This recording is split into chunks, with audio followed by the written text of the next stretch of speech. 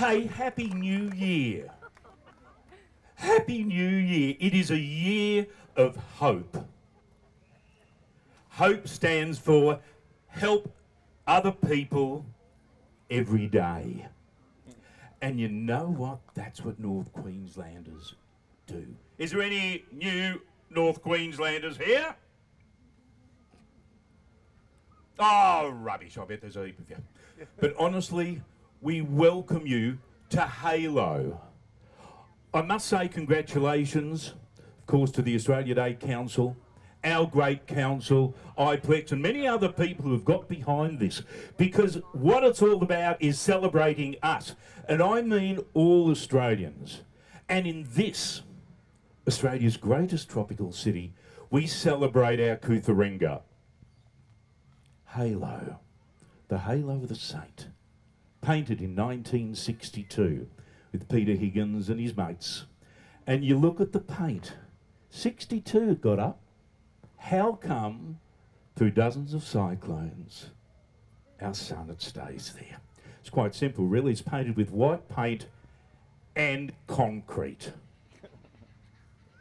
Tonight you'll see a show that celebrates our saint, that celebrates us. And I just want to tell you couple of little stories. Firstly, I'm blessed, as I mentioned, I'm a broadcaster. I'm not an Australian broadcaster. I broadcast in the best part of Australia. Townsville, North Queensland. And it is too, because it's us. And there's many people that have made this part of the world magnificent pioneers because in any direction 30 minutes we're in wilderness any direction 30 minutes wilderness on top of Cudtheringa there's a post called Jenkinson's Post one of our great pioneers Graham Jenkinson and that light you see on Castle Hill he and a rather crazy broadcaster in 1984 got hold of a little spotlight, a wartime spotlight, and shone it on that hill to show the council that we could do it. An old World War II spotlight perched up there, bringing in the bats. In fact, that's why we had to stop because it upset a few of the bats. Bats are blind. But we put it back up. And what you see today, thanks to the Townsville City Council, you'll see the lights on our Cudtheringa. Think of Earth and the sea. I've just told you about the Earth. This magnificent Cudtheringa. But what about the sea? 30 minutes in that direction. Wilderness, the Great Coral Sea. And for those that don't know, this year, 2021, 110 years ago, coming to this city, 122 souls on board a ship that doesn't exist anymore, a steamship. And this is a great northern story. It is the story of the SS Yongala. 110 years ago, on the 23rd of February, 23rd of March, 1911. 122 souls, or 121 on the manifest. And then they discovered there was an eight month old baby, Elsa Marie Murray, coming to this city. It's our own Titanic. And they were lost. No survivors. It's a wonderful little passage from Ecclesiasticus those that have no memorial and perished as if they had never been. It was lost for 40 years, but that's how much of a city on the edge of civilization we were. This was an open bridge steamship. If you get a chance, go to the Maritime Museum, read the story of the SS Yongala. As a broadcaster from Melbourne, I came up 37 mango seasons and I fell in love with this story. The story of William Knight, all his crew, and people who were just coming here to Townsville, lost, gone over 40 years. A man by the name of Doug Tarca and Ben Cropp finally found the resting place off Cape Bowling Green of the SS Yongala. Along with Doug Tarca, who ran ReefLink, I had the great privilege of learning to dive and learning about the magnificent reef, but learning about the SS Yongala. Has anyone ever dived the Yongala here? Has anyone ever actually, does anyone care? Does anyone care? You know, you, you talk about this place. We wouldn't be here without the pioneers. Yes, we've got the great gardens here. But you know, these gardens were put together by Percival Pacific Andrews, named Pacific because his dad had a few drinks, couldn't think of any other word, and named him Pacific. And that was in Ingham. There's a wonderful aviary named after him. All those stories, as a broadcaster in this great city, I learned. Because yes, we've got our iPads, our phones. But you know, without the past, because we'll be the past one day. We want to be remembered. We want to learn. So you learn about the SS Yongala all those years ago, along with a local company called the Dive Bell. A great man, Colin Hodson, took me for my first dive on the Yongala. Have you ever been underwater? It's scary.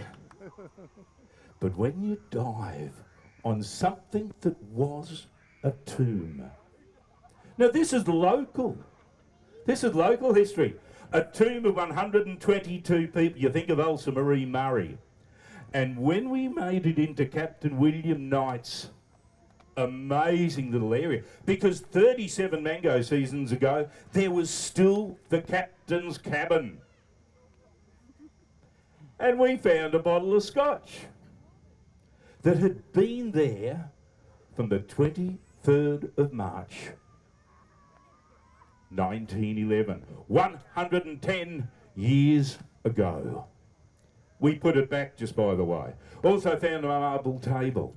I wish, I wish that we had a museum for the SS Yongala and so many other great historical parts of this city so that these little ones, when they grow up, when they grow up, they can see and learn about the old steamships, the great old steamships that came to this city. In fact, Matthew Rooney was on board. You cross Rooney's Bridge.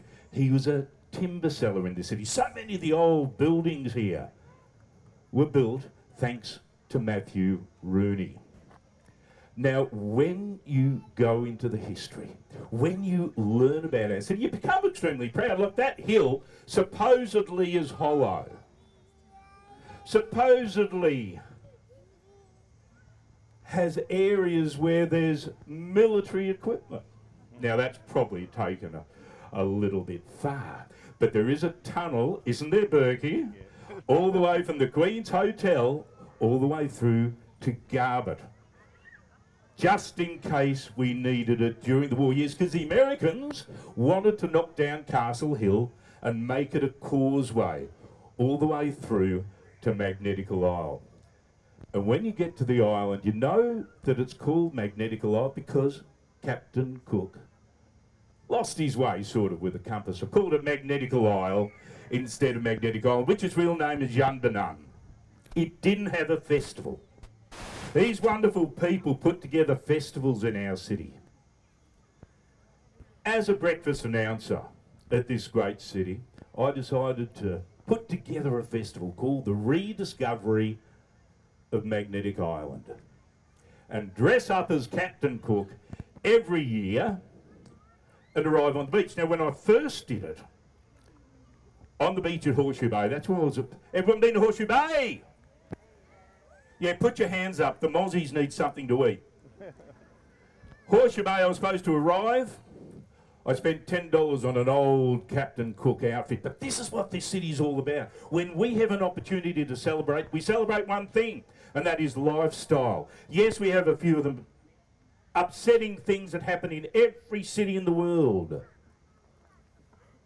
But we have lifestyle and we have each other. And when I arrived that, I expected 200 people on the beach at Horseshoe Bay to welcome a silly old broadcaster dressed as a 200 year old, oh, felt 200, 200 year old captain. There were 5,000 people on the beach that day from all over the world just celebrating being silly. And you know, there's nothing wrong with being silly. And in the northern tropics of Australia, we can do that.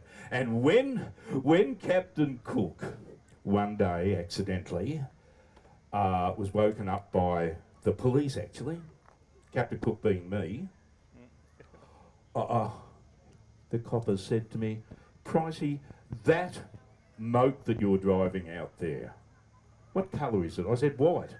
He said, well, it's not. It's green. You've stolen someone's moke. Our island had 40 mini mokes, but only six keys. And I'd accidentally taken the wrong one home. That ran for 10 years. There are going to be many more festivals in this city. Make your own story. As a northerner, as we move into this great year of 2021, hope, help other people every day, and enjoy life in this tropics from all of us. And of course, a happy Australia Day. Enjoy Halo. You're about to meet a most wonderful fella by the name of Dave Burke. Listen to his stories. And please, make your own stories too. Happy days. I've loved talking to you. Happy days, everyone.